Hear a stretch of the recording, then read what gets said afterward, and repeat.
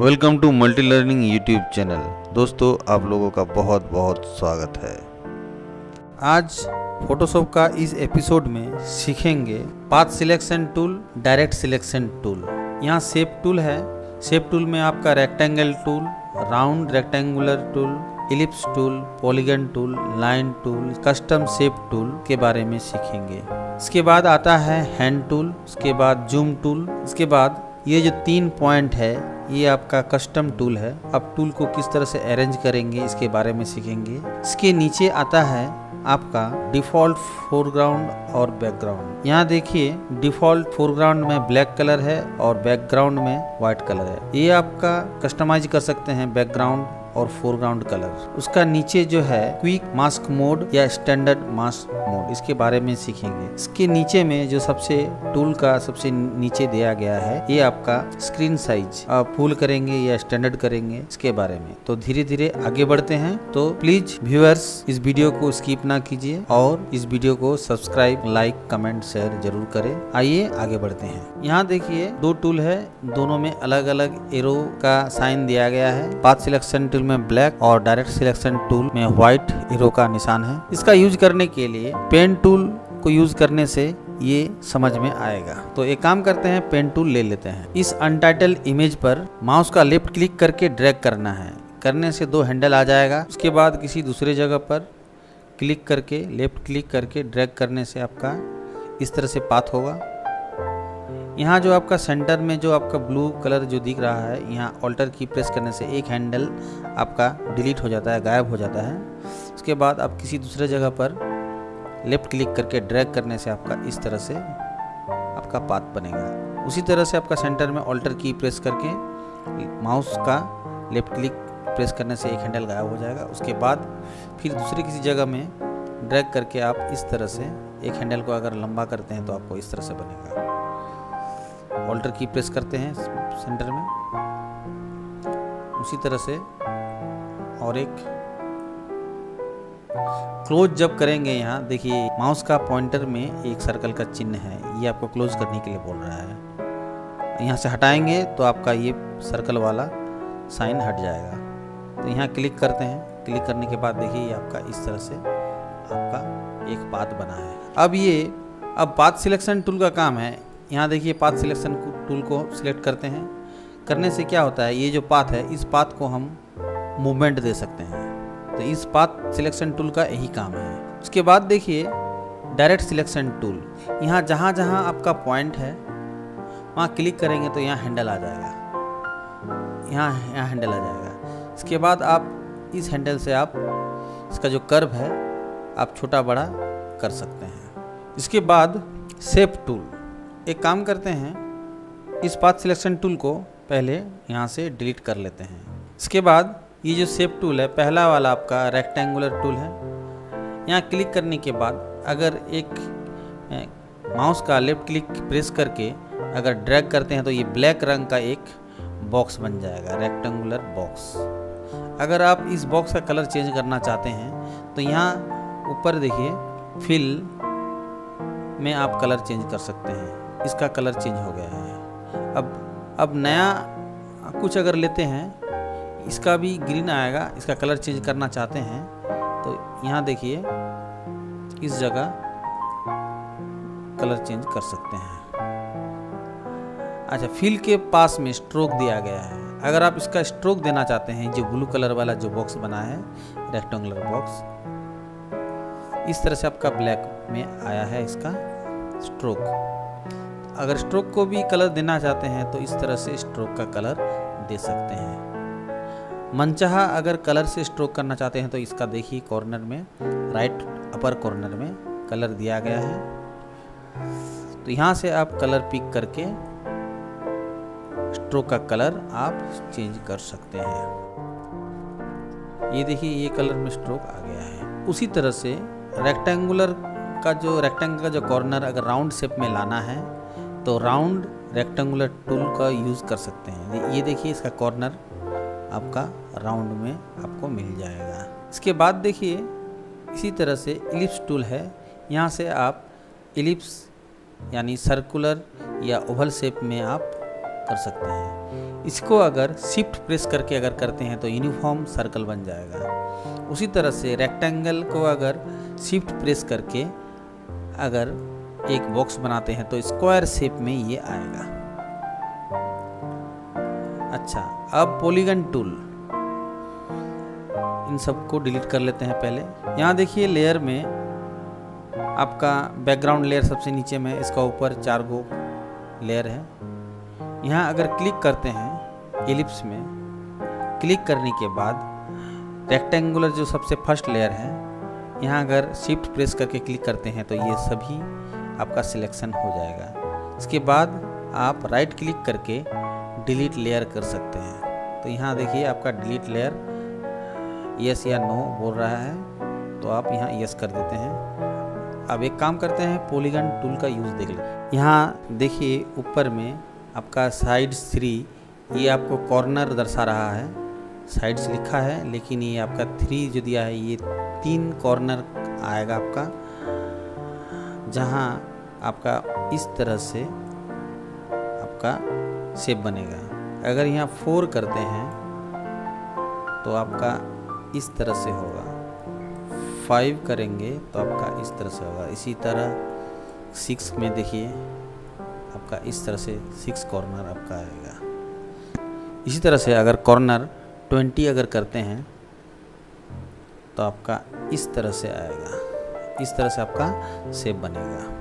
यहाँ देखिए, आपका स्ट्रोक्स जो है स्ट्रोक में अगर क्लिक करते हैं स्ट्रोक अगर ग्रीन लेते हैं ग्रीन लेने के बाद अगर कोई शेप बनाते हैं, ये ट्वेंटी कॉर्नर का तो ये इस तरह से आपका, यहाँ आपका स्ट्रोक्स नज़र नहीं आ रहा है, कारण यहाँ ज़ीरो पिक्सल में है, इसे अगर बढ़ाते हैं, तब आपको नज़र आएगा।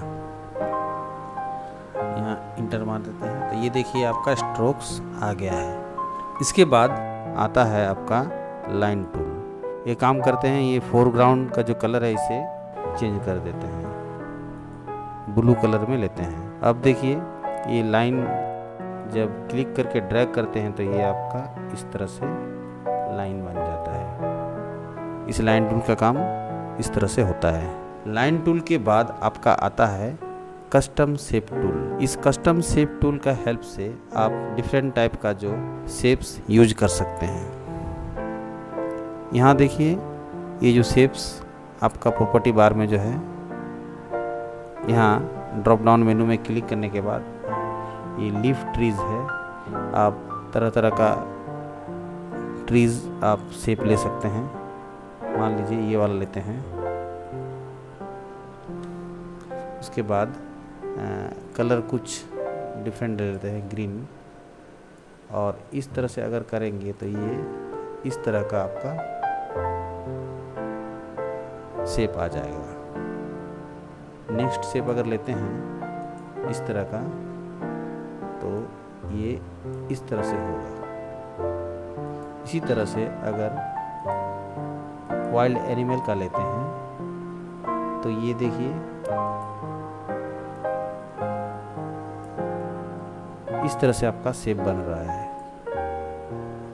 बोट्स का अगर लेते हैं तो यहाँ क्लिक करते हैं तो ये देखिए इस तरह का बोट बन रहा है। इस तरह से आप सेप टूल का यूज़ कर सकते हैं। इसके बाद एक काम कर लेते हैं कंट्रोल जेड से बैक हो जाते हैं अंडू कर लेते हैं।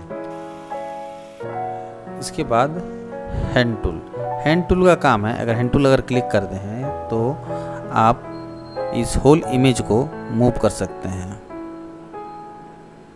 हैंड टूल का यही काम है। यहाँ देखिए, आपका और एक है रोटेट व्यू टूल इस टूल से आप इस इमेज को घुमा सकते हैं। यहाँ कॉम्पास दिया गया है बीच में। इस तरह से आप इस होल इमेज को घुमा सकते हैं। इसके बाद है जूम टूल ये आपका जूम टूल है। देखिए ये किस तरह से जूम हो रहा है। जूम करने के लिए माउस का लेफ़्ट क्लिक करने से आपका जूम हो जाएगा। और जूम आउट अगर करेंगे ऑल्टर की प्रेस करके माउस का लेफ़्ट क्लिक अगर प्रेस करते हैं क्लिक करते हैं तो ये आपका जूम आउट होगा। इसके बाद देखिए, यहाँ थ्री पॉइंट है। ये थ्री पॉइंट पर राइट क्लिक करने के बाद, देखिए यहाँ एडिट टूल बार दिया हुआ है। यहाँ क्लिक करने के बाद, ये आपका इस तरह से आएगा। अगर मान लीजिए आपका टूल बार में अरेंजमेंट कुछ अलग तरह का चाहिए, अगर मान लीजिए यहाँ देखिए मूव टूल है मूव टूल को नीचे अगर लेके आते हैं, देखिए मूव टूल नीचे आ गया है। रेक्टेंगुलर मर्की टूल को अगर नीचे लाते हैं तो डबल क्लिक करके इसे नीचे ला सकते हैं। उसके बाद अगर डन कर देंगे तो आपका मूव टूल का जो अरेंज जो पहले से अरेंज हुआ है, वो अरेंजमेंट चेंज हो जाएगा। डन अगर करते हैं तो देखिए, यहाँ मूव टूल आपका नीचे आ गया है और रेक्टेंगुलर टूल जो ऊपर में था, वो आपका नीचे आ गया है। तो इसे पहले जैसे ही कर देते हैं तो यहाँ आपका थ्री पॉइंट में राइट क्लिक करके एडिट टूल बार क्लिक करने से आपका ये वाला जो एक विंडो आया है यहाँ पहले जैसे था, वैसे ही कर देते हैं। डबल क्लिक करके इसे ऊपर ड्रैग कर लीजिए। रेक्टेंगुलर मर्की टूल ऊपर में था। डबल क्लिक करके इसे ऊपर ड्रैग कर लीजिए, उसके बाद डन कर दीजिए। यहाँ देखिए, आपका मूव टूल ऊपर आ गया है। और यहाँ जो रेक्टेंगुलर मर्की टूल है, ये ऊपर आ गया है। इसका पहले ये इलिप्टिकल मर्की टूल था। इसके बाद आपका ये बैकग्राउंड और फोरग्राउंड जो ऊपर में ब्लैक कलर में है, ये आपका फोरग्राउंड है। इसका नीचे जो है, ये बैकग्राउंड कलर है। तो अगर जो फोरग्राउंड में है, यहाँ ब्रश है, यहाँ बैकग्राउंड लेयर में क्लिक करना पड़ेगा। ये जो ब्रश टूल आपका लिया गया है, यहाँ अगर ब्रश लेकर अगर हम यहाँ ब्रश करते हैं तो ये फोरग्राउंड में जो कलर है, वही वाला कलर आपका यहाँ ब्रश होगा। तो ऊपर में जो यहाँ दिया गया है, ये देखिए, ऊपर में छोटा सा दो है कलर। एक ऊपर में जो है ब्लैक है, ये आपका फोरग्राउंड है। इसका नीचे जो है, ये आपका तो ये आपका डिफ़ॉल्ट फोरग्राउंड और बैकग्राउंड कलर है। अगर कस्टमाइज करना चाहते हैं इसे फोरग्राउंड चेंज करना चाहते हैं या बैकग्राउंड कलर चेंज करना चाहते हैं तो ये देखिए, यहाँ डबल क्लिक करते हैं तो ये आपका एक विंडो आ जाता है यहाँ। यहाँ से आप कलर पिक करके ओके करने से ये देखिए आपका फोरग्राउंड में रेड कलर आ गया है। ये जो ब्रश दिया गया है, यहाँ ब्रश करते हैं तो ये अब रेड कलर में ब्रश होगा। बैकग्राउंड कलर बैकग्राउंड कलर भी इसी तरह से। यहाँ ब्लू कलर ले लेते हैं। ब्लू कलर लेने के बाद मान लीजिए यहाँ अगर डिलीट करते हैं कुछ भी, इस सिलेक्शन को अगर डिलीट करते हैं, इस सिलेक्शन जो किया गया है, इसे डिलीट करने से आपका बैकग्राउंड कलर का यहाँ आपका जो विंडो आया है यहाँ आपको पूछेगा जो आप बैकग्राउंड कलर में आ, आप डिलीट आपका डिलीट करने के बाद बैकग्राउंड कलर होगा तो आप यहाँ ओके कर दीजिए। तो यहाँ देखिए ब्लू कलर में आ गया है डिलीट करने के बाद। दोबारा डिलीट करते हैं। अगर आप मान लीजिए फोरग्राउंड कलर आप रखना चाहते हैं तो ये फोरग्राउंड कलर में रेड में आ जाएगा।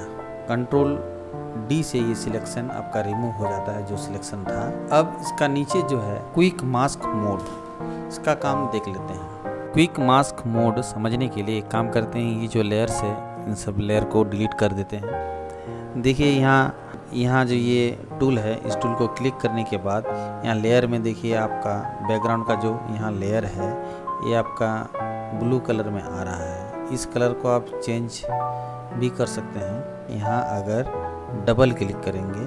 तो ये देखिए ये कलर को एक काम करते हैं। रेडिस में लेके आते हैं। ओके। तो यहाँ देखिए, क्विक मास्क मोड में यहाँ क्लिक करते हैं। क्लिक करने के बाद देखिए देखिए, यहाँ बैकग्राउंड में आपका लाइट डार्क रेडिस में आया है। यानी ये मास्किंग मोड में है। इसका काम देख लेते हैं। एक काम करते हैं, एक इमेज लेते हैं। इस इमेज में अगर कुछ क्रिएटिव डिज़ाइन करना है तो ये ब्रश को क्लिक करते हैं। ब्रश क्लिक करने के बाद यहाँ ब्रश का स्टाइल जो है, ये कुछ डिफरेंट लेते हैं। इस ब्रश को लेते हैं। इसका स्पेसिंग ब्रश का जो स्पेसिंग है स्पेसिंग को बड़ा कर दिए हैं। इसके बाद देखते हैं। मास्किंग मोड का शॉर्टकट की क्यू है। क्यू प्रेस करने पर भी ये देखिए मास्किंग मोड में ये आ गया है। अगर क्यू दोबारा प्रेस करते हैं तो ये स्टैंडर्ड मोड में आ जाता है। स्टैंडर्ड मोड यानी यहाँ कोई मास्क नहीं है। यहाँ अगर स्टैंडर्ड मोड में अगर कलर करते हैं तो ब्रश करते हैं तो ये आपका इसी तरह का ब्रश होगा, लेकिन इसमें कोई आप इफ़ेक्ट देखने को नहीं मिलेगा। तो इसे बैक करते हैं, इसे मास्किंग मोड में लेते हैं। यहाँ क्लिक करके भी आप मास्किंग मोड कर सकते हैं, या फिर क्यू प्रेस करके भी मास्किंग मोड में आपका आ जाएगा। यहाँ देखिए कलर चेंज हो चुका है। तो यहाँ एक काम करते हैं ब्रश टूल लिए हैं। यहाँ इस तरह से।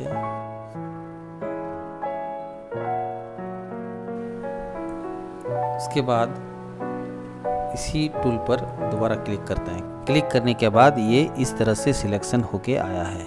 एक काम करते हैं, इसको इन इन्वर्ट कर देते हैं। ये सिलेक्शन को इन्वर्ट कर देते हैं। इन्वर्ट करने के लिए control shift plus I click करने से ये इन्वर्ट क्लिक हो जाता है। इसे इन्वर्ट क्लिक करने के लिए एक काम करते हैं। ये सिलेक्ट वाला जो यहाँ ऑप्शन है मेनू बार में, यहाँ से भी कर सकते हैं। यहाँ देखिए shift plus control plus I यहाँ देखिए, यहाँ कंट्रोल प्लस सी करने के बाद इसे नए पेज में अगर पेस्ट करते हैं, इस तरह से आपका इमेज आ जाएगा।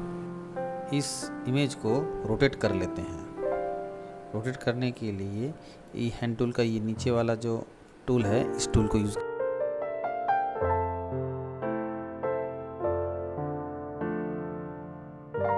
देखिए, इस तरह से आप क्रिएटिव इमेज बना सकते हैं। मास्किंग क्विक मास्क मोड का यही काम है।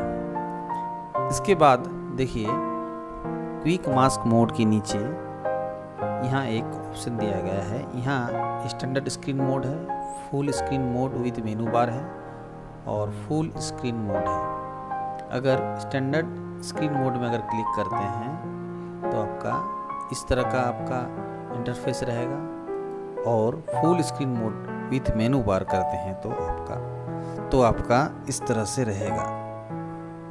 अगर फुल स्क्रीन मोड में करना चाहते हैं तो यहाँ फुल स्क्रीन क्लिक कीजिएगा या फिर कैंसिल कर देने से आपको फुल स्क्रीन नहीं करना पड़ेगा। तो यहाँ फुल स्क्रीन करके देखते हैं। ये आपका फुल स्क्रीन आया है। इसे एस्केप करते हैं। करने से दोबारा आपका नॉर्मल मोड में आ जाएगा स्टैंडर्ड स्क्रीन मोड में। फोटोशॉप का जो ये टूल है, इसके बारे में पूरा टोटल बताया गया है और इसके नेक्स्ट एपिसोड में आप लोग देखेंगे किस किस तरह से आप आईडी कार्ड बना सकते हैं, किस तरह से आप लोगो बना सकते हैं, किस तरह से आप नए नए क्रिएटिव आइडियाज़ के हेल्प से नए इमेज को बना सकते हैं। तो इसके लिए आगे बढ़ेंगे। Thanks for watching the video please like comment share and subscribe our channel